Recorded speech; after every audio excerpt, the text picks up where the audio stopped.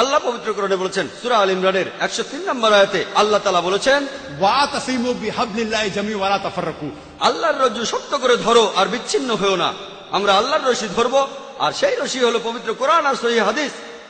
আল্লাহ কোরআনে বলছেন সুরা আল আনামের একশো উনষাট নম্বর আয়তে উল্লেখ আছে যারা দিন সম্বন্ধে নানা মতে সৃষ্টি করেছে হে রাসুল তাদের দায়িত্ব তোমার নয়। ইসলাম ধর্মে বিভিন্ন দল আর মত তৈরি করা এটা নিষিদ্ধ এটা হারাম।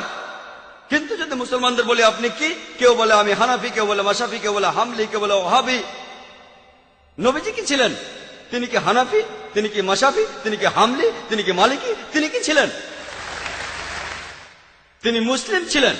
পবিত্র করণে সুরা আল ইমরানের বাহান্ন নম্বর আয়াতে উল্লেখ করা আছে ঈসা আলাহ ইসাল্লাম যীশু খ্রিস্ট তিনি মুসলমান ছিলেন পবিত্র করণে সুরা আল ইমরানের সাতষট্টি নম্বর আয়াতে উল্লেখ আছে যে ইব্রাহিম আলাহ ইসাল্লাম তিনিও মুসলিম ছিলেন পবিত্র করণে সুরা ফুসিলাতে তেত্রিশ নম্বর আয়াতে উল্লেখ করা আছে ومن احسن قال ممن دعا الى الله وعمل صالحا قال انني من المسلمين সেই ব্যক্তির চেয়ে কে উত্তম যে মানুষকে আহ্বান করে আল্লাহর পথে সৎকর্ম করে আর বলে আমি মুসলমান আমাদের নবী মোহাম্মদ সাল্লাহাম মুসলমান ছিলেন আল্লাহ বলেছেন, আমরা হব মুসলমান।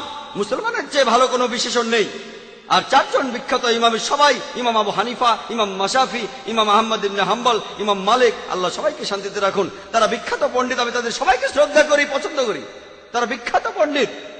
আর এই পণ্ডিতদের সবাই বলেছেন, এই চারজন ইমাম বলেছেন, যদি আমার কোনো ফতোয়া আল্লাহ রাসুলের বিরুদ্ধে যায়, তাহলে তোমরা আমার ফতোয়া ছুঁড়ে ফেলে দাও।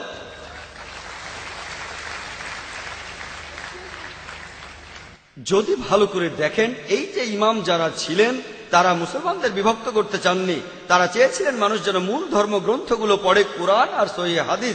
তাই আমাদের এখন যা করতে হবে, আমি জানি যে লোকজন বলে, একটা হাদিসে আছে, মুসলিমরা তিয়াত্তরটি ভাগে বিভক্ত হবে। এটা আছে তিরমিজিতে সহি হাদিস একশো একাত্তর নম্বর হাদিস। নবীজি বলেছেন, ভবিষ্যতে তিয়াত্তরটি ভাগ তৈরি হবে। ভাগ করা উচিত, সেটা বলেননি। নবীজি জানতেন যে আল্লাহ এই কাজটাকে নিষিদ্ধ করেছেন। তাহলে যেটা করতে পারেন, আল্লাহ আর রসুলকে মানেন আর নিজেদের আপনারা যে নামে ডাকতে পারেন সেটা হলো মুসলমান। যে কোনো পণ্ডিত পৃথিবীর যে কোনো পণ্ডিত ধরলাম তিনি পৃথিবীর সবচেয়ে বড় পণ্ডিত তার কাছে প্রমাণ দেখতে চান। আপনার প্রমাণটা দেখান যদি সত্যি বলে থাকেন আপনি নির্দোষ হলে তার প্রমাণ দেখান। তাহলে যদি কোনো পণ্ডিতের সাথে মতভেদ হয় তার কাছে প্রমাণ দেখতে চান প্রমাণটা নিয়ে পরীক্ষা করুন। এজন্য আমি রেফারেন্স দেই। আমি যা বলি জাকির যা বলে ইসলামে তার কোনো মূল্য নেই। জিরো শূন্য। সেজন্যই বলি জাকির বলেনি আল্লাহ বলেছেন কুল হল্লহু আহাদ। বলো তিনি আল্লাহ এক, অদ্বিতীয়। আমি জাকির বললে ইসলামে এটা মূল্যহীন শূন্য। আল্লাহ যা কিছু বলেছেন সেটা মানতে হবে, নবীজি বললে সেটাও মানতে হবে। সেজন্য বোন, মুসলিমদের বিভক্ত হওয়া উচিত না। আমাদের শুধু মুসলিমই বলা উচিত। আর কোরআন আর সহি হাদিস আমরা মেনে চলবো। যারা বিভিন্ন মতের সৃষ্টি করে তারা ইসলামের বিরুদ্ধে।